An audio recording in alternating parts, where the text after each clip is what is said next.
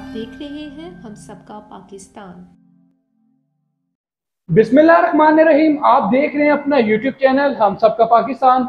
नाजिन बात की जाए तो डॉलर की ऊँची उड़ान है, उसकी वजह से शहरी काफ़ी परेशान है। इसकी बुनियादी वजह क्या है? और दूसरी जानी बात की जाए, पेट्रोलियम मजनूआत की कीमत जो है हुकूमत की जाने से कम तो की गई। असल कीमत क्या होनी चाहिए? इसी सिलसिले में हम बढ़ेंगे, हमारे साथ मौजूद होंगे सीनियर जर्नलिस्ट हैं प्रोफेसर डॉक्टर अब्दुल खान साहब।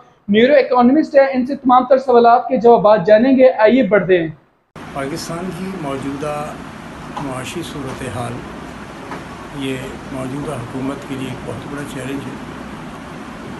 अगरचे गुज्त पी टी आई गवर्नमेंट में भी सूरत हाल कोई हौसला अफजा नहीं थी, लेकिन कहा जा सकता है कि वो एक रास्ते पर चल निकले थे। मसाइल थे मुश्किल थी। लेकिन कोई कहना ये चाहिए कि खुशहाली के रास्ते पर अभी हम नहीं निकले थे और पर कैपिटल इनकम स्लाइटली बढ़ रही थी, इतनी ज़्यादा नहीं बढ़ रही थी। लेकिन ये जो मौजूदा सूरत हाल है, यहाँ पे फाइनेंस का इंचार्ज आपने मुफ्ता इसमाइल साहब को बनाया, जो एक बिज़नेसमैन है, अपनी एक इंडस्ट्री चलाते हैं। और पिछला जो उन्होंने बजट पेश किया था, पिछले से मुराद है पीटीआई हुकूमत के आने से पहले और नवाज़ शरीफ गवर्नमेंट के अंदर। जो उन्होंने बजट पेश किया था, उसमें कोई इनोवेशंस नहीं थी। और ये जो बजट इन्होंने पेश किया है, इसमें भी इनोवेशंस नहीं है। सवाल ही पैदा होता है कि आवाम को जो तो रखते हैं और जायज़ तो रखते हैं, कि उन्हें कोई ना कोई फ़ायदा पहुँचना चाहिए और वो उनका हक़ है। तो आपको एक पैरिटी लेकर आनी चाहिए थी, इस बजट में कुछ इनोवेशंस लानी चाहिए थी जो नहीं लेकर आए।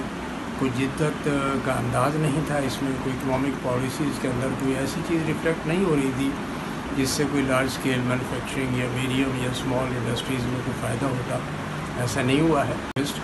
के पास हल मौजूद है तो क्यों नहीं आपके पास जिनको भारी भारी तनख्वाहें दी जाती हैं, जो इकोनॉमिस्ट रखे हुए हैं आपने, वो इस मसले को हल नहीं कर सकते? बिल्कुल कर सकते हैं। कॉस्ट ऑफ़ लिविंग को एड्रेस किया जा सकता है। इस जिनको बोतल में बंद किया जा सकता है हाँ उसका ज़िम्मेदार इमरान खान की हुकूमत है या नहीं है।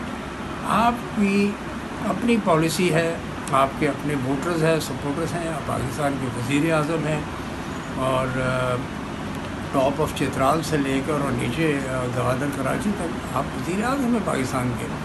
आपको आगे आइंदा इलेक्शन में भी जाना है, जिसके लिए बार बार पी टी आई दबाव डाल रही है कि जल्दी कराए, इलेक्शन जल्दी कराए।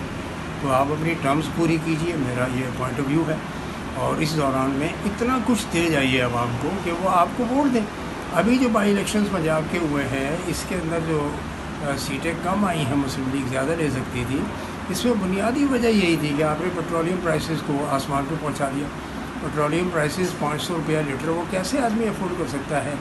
एक दिन में दो लीटर डलवाएगा तो पाँच सौ रुपया और पाँच सौ को मतलब है पंद्रह हज़ार रुपया। उसकी आमदनी नहीं है पंद्रह हज़ार रुपया। कैसे ये नहीं देगा? पंद्रह हज़ार वो देगा, बीस हज़ार रुपये मकान किराए का देगा, घर का खर्चा है, बच्चों की तालीम है, दूध पानी, नाश्ता, रोटी पानी का खर्चा है। ये सब आपकी ज़िम्मेदारी है। देखिए बेनज़ीर इनकम सपोर्ट प्रोग्राम जो है, या बेस्ट जो एहसास के नाम पे उन्होंने चलाया था, सानिया निश्तर ने, उससे वो गुरबत की कम, में कमी नहीं होगी। उससे गरीब और डिपेंडेंट्स लोग बढ़ेंगे, मसाइल पैदा होंगे। तो आप एड्रेस को, एड्रेस कीजिए, कौन से कॉस्ट ऑफ़ लिविंग के इश्यूज़ को। कॉस्ट ऑफ़ प्रोडक्शन के इशूज़ इन दो को एड्रेस कर दीजिए और मैं समझता हूँ कि ये बड़ा आसान है। आपके पास छः हफ्तों के रिज़र्व नहीं रहे, क्या बनेगा? आप जो भी अभी आज बांग्लादेश ने एनर्जी प्लान नया लॉन्च किया है, उसमें, उसको भी स्टडी करें आप। ज़रूरी नहीं है कि पाकिस्तान के पास जिसके पास पैसा है जी, वो सौ लीटर अपनी गाड़ी में डलवा सकता है और जिसके पास पैसा नहीं है, वो एक लीटर भी नहीं बना सकता। बनाएँ, एक यूनिफॉर्मिटी और पॉलिसीज़ लेकर आइए, पाकिस्तान को चलाएँ और कोई, यानी पॉलिटिकल मुश्किल मैं समझता हूँ, हल में जाएगी। आप देख रहे हैं हम सबका पाकिस्तान।